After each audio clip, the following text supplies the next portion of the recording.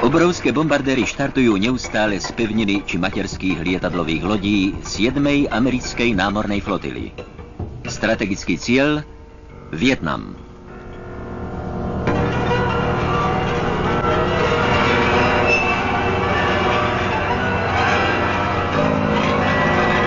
Barbarské bombardovanie pokračuje v nezmenšenej miere už 7 rokov. Za tento čas zvrhli Američania na územie Vietnamu viac ako 7,5 milióna tom bomb. Na obydlia civilného obyvateľstva, školy a nemocnice dopadajú riadené strely a rakety.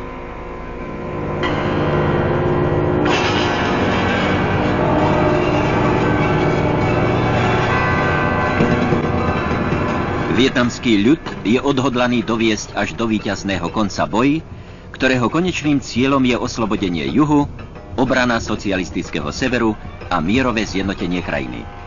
Duch neúprimnosti, ktorý vanie z predvolebných amerických sľubov o skončení vojny, nemôže oklamať protestujúcu verejnosť celého sveta.